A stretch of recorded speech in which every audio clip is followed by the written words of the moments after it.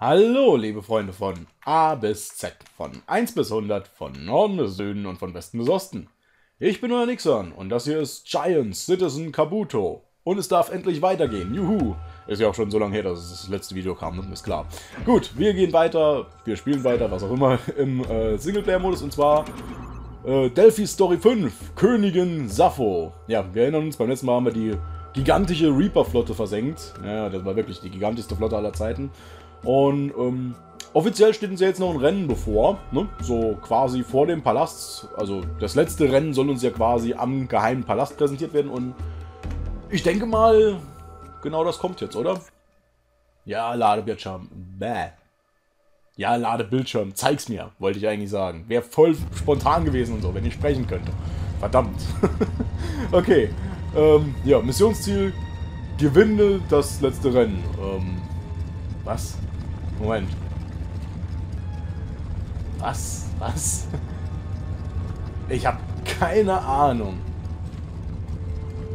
Ähm, also ich, ich versuche gerade irgendwie zu erfahren, was jetzt irgendwie dieses Missionsziel mir sagen will, aber ähm, da steht, ja, du hast es zum geheimen Palast ge äh, äh, geschafft, aber scheiße, was soll's, gewinn das letzte Rennen trotzdem und äh, äh, äh füge Verspottung den Verletzungen hinzu, vielen Verletzungen oder ich weiß es nicht. Also äh, so würde ich es jetzt übersetzen, aber ähm, Injury, ich weiß nicht. Ich, ich nehme an, es ist, sind Verletzungen, aber ist egal. Ich, ich verstehe es nicht und es ist okay so. Fahren wir einfach los, bevor ich hier noch völlig verzweifle.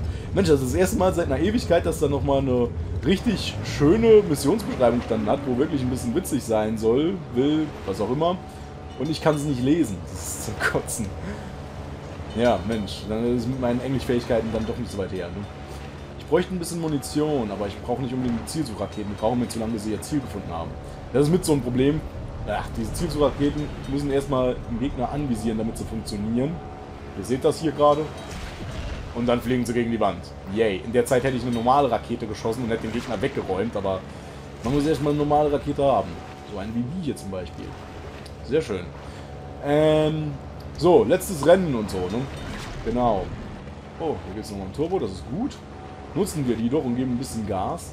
Ja, äh, eigentlich wäre es ja völlig unnötig, das wollte uns die äh, Missionsbeschreibung eigentlich sagen, eigentlich wäre es völlig unnötig, dieses Rennen noch zu fahren, weil äh, wir wollten nur zu Saphos Palast und dort sind wir. Und hallo, ich meine, der große Preis des Rennens ist, dass wir Kabuto geopfert werden dürfen. Ähm, was bringt es uns, wenn wir das Rennen noch gewinnen?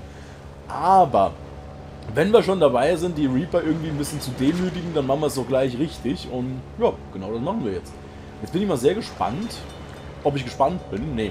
Ähm, hier hinter diesen Mauern ist so eine Art Gefängnis und hier sind auch überall Sea Reaper und hier ist keine Kaserne. Gut zu wissen. Also auf der linken Seite, wo ganz viele Sea Reaper gestanden haben, da könnte auch theoretisch eine Kaserne sein, aber offensichtlich nicht in der Praxis. Oh, da ist ein Haus. Ne? Oder eine Scheune oder was auch immer. Wow. Ich schaff's nicht. Ich schaff's nicht, um die Kurven zu fahren. Einen Turbo noch. Ist das eine Abkürzung an der Seite? Ich weiß es nicht. Das sah irgendwie komisch aus. Und eine kleine Smarty-Siedlung. Yay, haben wir auch ewig nicht mehr gesehen. So richtige Smarty-Siedlungen und so. So, das war ein Gruß. Aber er lebt noch. Er hat noch ein bisschen Zeit, bis ich ihn da runterhole. Ich sollte mal ein bisschen ordentlicher fahren und ein bisschen Gas geben, damit ich die Kerle hier kriege. Ähm, Währenddessen erklären wir noch kurz was. Also, Luma-Fan hatte mich ja gefragt, ob die Steuerung von dem Reaper jetzt schwierig ist oder nicht. Und ich würde sagen, nein, ist nicht schwierig, weil ja, es ist ein bisschen ungewohnt von der Steuerung her, weil es halt mal ein Wasserfahrzeug ist und wie gesagt, Wasserzeug, also habe ich ja beim letzten Mal glaube ich schon mal erklärt, Wasserfahrzeuge reagieren halt gerne mal ein bisschen verzögert, aber das macht die Steuerung jetzt nicht zwingend schwierig, sondern nur eben ein bisschen verzögert. Man muss sich nur dran gewöhnen. Ansonsten ist die Steuerung super direkt, also ich steuere ja ähm, mit der Maus. Ich könnte auch mit der Tastatur steuern, aber ich steuere lieber mit der Maus. Weil jede Bewegung, die ich mit der Maus mache, wird eins zu eins wirklich von dem Reaper-Ski übernommen. Das heißt, wenn ich die Maus jetzt stark nach rechts bewege, mache ich jetzt gleich mal, dann macht der schlagartig eine Rechtskurve. So wie es sein sollte, wenn man halt mal irgendwie stark lenkt. Ne? Warum bin ich so langsam? Oder warum sind die so schnell? Oder beides? Ich verstehe es gerade nicht. Ja, ähm, wie gesagt, die Bewegung wird eins zu eins direkt übernommen, super schnell. Ist also gar kein Problem. Aber Problem ist halt, äh, wie gesagt, wir sind, wir sind ein Wasserfahrzeug und da hat man halt eine gewisse Verzögerung, bis die Richtung gewechselt wird. Also selbst wenn das Fahrzeug sich um 90 Grad dreht, heißt das nicht, dass wir auch gleichzeitig die Fahrtrichtung um 90 Grad drehen. So, jetzt würde ich gerne mal wissen, wo die sind. Da waren doch eben noch zwei Stück direkt vor mir. Ja, den Turbo hätte ich vielleicht doch besser mitgeholt. Gut, gut zu wissen, hier könnte man eine riesen Abkürzung nehmen, wenn man äh, einen Checkpoint auslässt. Was? Oh. Hm. Faszinierend. Sogar wenn er zersplittert ist, macht er seinen Job noch. schön. Wie, schön, wie er immer dieses Horn bläst, selbst wenn er schon tot ist. Und diesmal wirklich war nur noch Mus von ihm übrig und ein roter Fleck am Boden. Aber das hat ihn auch nicht daran gehindert, seinen Job zu machen. Tja. Der Mann hält durch bis zur letzten Minute. Oh, verdammt. Aber ich frage mich jetzt ernsthaft, wo sind diese Typen hin, die die ganze Zeit vor mir waren? Sind die jetzt hinter mir? Sind das die, die mich gerade überholen wollten? Man weiß nicht. Okay, diesmal fahre ich wieder rechts rum, weil dann komme ich besser an den Turbo. Aber ich hätte noch vier Stück. Wow. Na egal. Setzen wir halt einen mehr ein. Und, äh, bäh. Was war jetzt gerade? Was halt auch sehr praktisch ist bei dieser Wassersteuerung und so. Im Prinzip hat man zwar diese Verzögerung bei der Steuerung, das heißt, man trifft noch in eine Richtung weiter, obwohl man schon in eine andere Richtung lenkt und das Fahrzeug auch schon in eine andere Richtung gedreht ist. Aber wenn ich in dem Moment einen Turbo einsetze, dann kriege ich schlagartig so einen Boost in diese Richtung, die ich gerade gucke oder in die ich gerade fahren will, dass wirklich diese, ähm, dieses Driften komplett aufgehoben wird. Also das heißt, der Booster ist nicht nur äh, praktisch, um sich zu beschleunigen, sondern auch, um schnell mal die Richtung zu korrigieren, weil man halt wirklich schlagartig genau in die Richtung katapultiert wird, in die man fahren will. Das macht es auch leichter, Sachen einzusammeln, wie jetzt zum Beispiel den Turbo. Normalerweise wäre ich noch weiter nach rechts gedriftet, ohne dass ich was dagegen hätte machen können. So bin ich halt dann direkt in den Turbo rein ähm, gefahren. So, jetzt lassen wir den Checkpoint mal aus. Und haben hier eine kleine Abkürzung. So groß war es dann doch nicht, ne? Andererseits, die Reaper hingen ganz schön hinterher. Für den Moment. So, noch zwei Turbos. Da vorne gibt es schon wieder den nächsten. Ich setze mal gleich noch einen ein. Wow. Das war nicht so gut. War auch nicht so beabsichtigt. Das war auch nicht so beabsichtigt. Ich kann es nicht fassen. Ich habe beim Reaper Ski Rennen verloren. oh, machen wir das Ganze halt nochmal. Was soll's. Verdammt, das gibt's doch nicht. Was habe ich hier gerade getrieben? Also das war ja echt peinlich. Also ich meine, das eine Mal, dass ich einen Checkpoint ausgelassen hatte, das war ja praktisch Absicht, weil ich wollte ja abkürzen, was so viel jetzt auch nicht gebracht hat, wie ich gedacht hätte. Aber die anderen beiden, das war echt total scheiße. Und das ist genau das, was ich halt gerade versucht habe zu erklären mit der Steu wow, Steuerung. Ähm, man hat eben diese Verzögerung. Das heißt, wenn man schon sich in eine Richtung bewegt, dann ist es zwar möglich, die Richtung zu ändern, aber es dauert halt einen Moment, bis man es geschafft hat, die Richtung zu ändern. Deshalb fahre ich so oft gegen irgendwelche Sachen dagegen und deshalb habe ich jetzt eben gerade zwei Checkpoints verpasst. So, es wäre cool, wenn ihr euch jetzt mal hinten anstellt, weil ich bin derjenige, der das Rennen gewinnen will. Ähm, ja gut, ihr wollt wahrscheinlich auch gewinnen, zugegebenermaßen, aber tschüss. Ich muss das Rennen gewinnen, weil das ist mein Missionsziel, auch wenn es mir gar nichts bringt. ähm, so nebenbei. Was mich schon immer gestört hat an diesen Reaper-Ski-Rennen ist, man hat nirgends eine Anzeige, welche Platzierung man hat. Das ist ja auch das Problem von vorhin, ne? dass ich gedacht habe, wir haben zwei Gegner vor uns und die waren nicht mehr zu sehen, nirgends. Und es gibt keine Möglichkeit zu überprüfen, ob ich jetzt Erster bin oder nicht, weil die 1, die im Moment oben in der Mitte steht, ist ja die Rundenzahl, nicht meine Platzierung. Und die Lampen neben an der Seite heißt ja nur, dass ich drei Fehler machen darf, beziehungsweise eigentlich darf ich zwei Fehler machen, beim dritten habe ich verloren. Ich habe gerade den Schatten an der Wand für, oder was auch immer das war, einen Riss oder so, für einen Sea-Reaper gehalten, deshalb habe ich mal geschossen, aber war unnötig, okay. Gut, gut, ähm, wir sehen auf jeden Fall ein riesiges Landgebiet, um, äh, das, um das wir hier so rumfahren mit sehr seltsamen Felswänden teilweise. Also teilweise sehen sie sehr unnatürlich aus, das hier sieht es schon etwas natürlicher aus.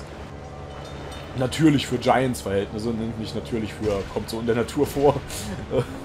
ja, aber ähm, wir werden diese, dieses Gebiet noch etwas näher in Augenschein nehmen dürfen. Nee, keine Ahnung, komischer Satz macht keinen Sinn. Wir werden das Gebiet noch genauer erkunden dürfen, sagen wir es so. Das ist dann, ihr könnt mich doch mal gerne haben.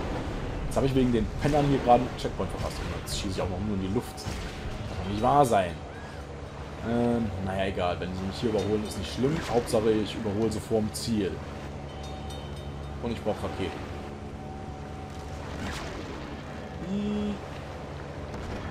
Delphi, du machst mir Sorgen.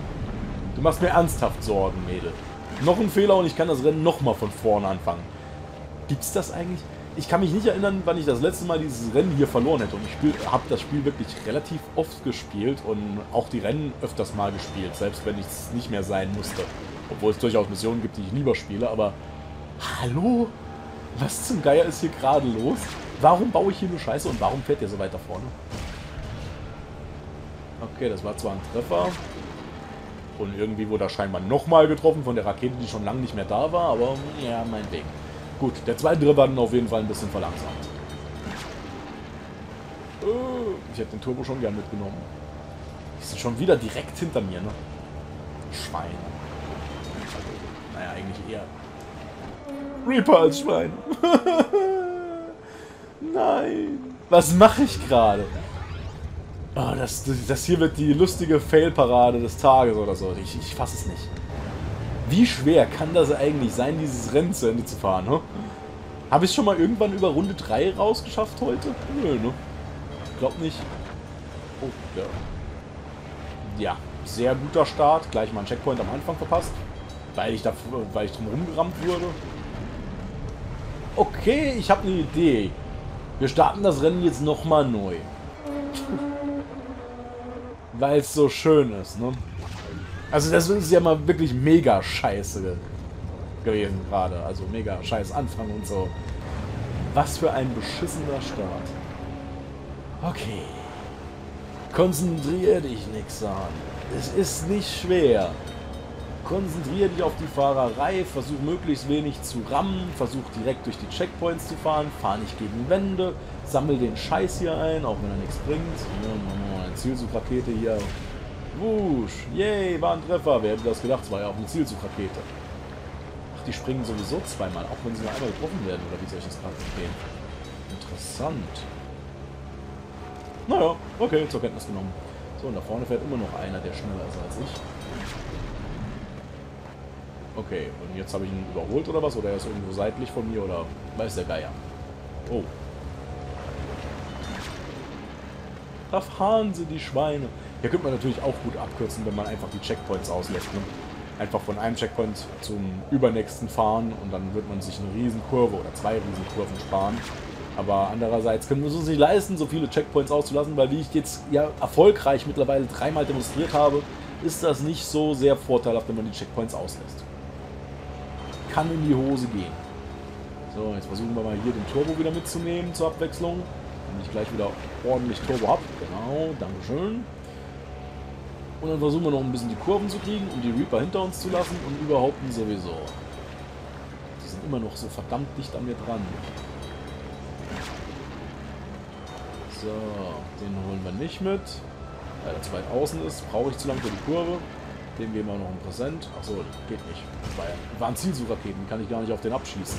So ein Scheiß. Ich glaube, er lebt noch. Er hat mal so komisch da gelegen. Also, könnte durchaus sein. Das ist schon wieder so dicht an mir dran. Was soll ich noch machen? Ich gebe Turbo, Turbo, noch mehr Turbo. Und trotzdem, ich könnte höchstens noch Raketen nach hinten schießen. Das, die Option hätte ich noch, aber was habe ich davon? Und warum kriegt man in der Mission hier eigentlich zum ersten Mal bevorzugt Zielsuchraketen? Die ganze Zeit war es ja so, dass eigentlich eher die normalen Raketen auf unserer Strecke lagen und die Zielsuchraketen eher etwas weiter außen. Jetzt ist es aber eher so, dass die äh, Zielsuchraketen auf der Strecke liegen, also auf meiner Fahrtroute, und die normalen Raketen weiter außen, so wie hier jetzt zum Beispiel. Das doch komisch. Wollen die unbedingt, dass ich Zielsuchraketen habe? Haben die Programmierer an der Stelle gedacht, es wird leichter, wenn ich Zielsuchraketen habe? Oder haben die gedacht, nee, es wird dann schwerer und deshalb geben wir dir nur Zielsuchraketen, weil wir wollen es ein bisschen schwerer machen? Weil Tatsache ist, äh, die Flak-Raketen, also die ganz normalen, sind viel besser als die Zielraketen. Zielsuchraketen. Ich tue mir gerade echt schwer mit Sprechen. Ich sollte aufhören aufzunehmen. es läuft sowieso alles gerade nur scheiße. Ich sollte wirklich aufhören. Ähm, ja, also die, die Flak-Raketen brauche ich ja nur in die richtige Richtung abzuschießen. Die explodieren schon, wenn sie in die Nähe von einem Gegner kommen.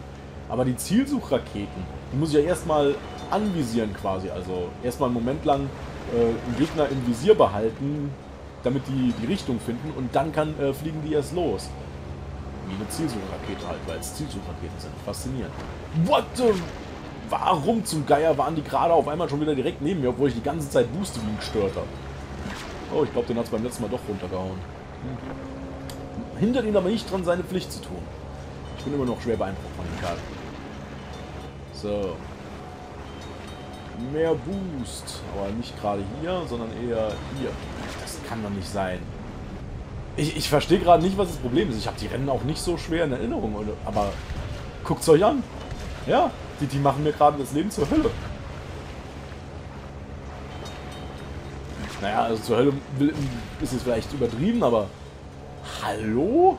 Ich gebe doch wirklich schon nur noch Gas. Ich, ich bin nur noch auf dem Boost-Knopf und trotzdem überholen mich alle Nase lang. Kann doch nicht sein. So, jetzt verteilen sie sich da hinten ein bisschen. Sind unendlich weit weg von mir. Ja, und gleich sind sie wieder direkt hinter mir oder so. Müssen die hier vielleicht die Kurven nicht fahren? Fahren die geradeaus? Sind die deshalb schneller? Ne, die fahren die Strecke wie ich. Die nehmen die Checkpoints mit.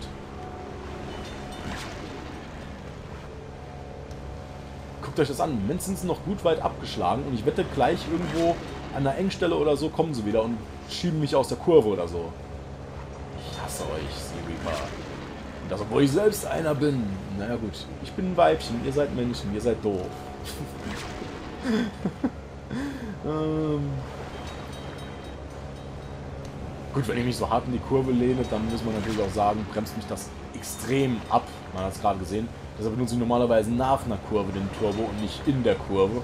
Aber ja, ich muss ja gucken, dass ich irgendwie meine Geschwindigkeit einigermaßen hochhalte, damit ich hier schnell genug wegkomme, um Erster zu werden und das Rennen endlich zu gewinnen, verdammt. Schwere Geburt. Muss ich noch eine Runde fahren? Habe ich gerade einen von denen versenkt? Das sah gerade so aus. Muss ich jetzt echt noch eine Runde fahren? Ich habe gedacht, ich wäre irgendwie durch und so. Und ja, Rennen vorbei und ole ole, alles super. Mal gucken, ob ich euch versenken kann.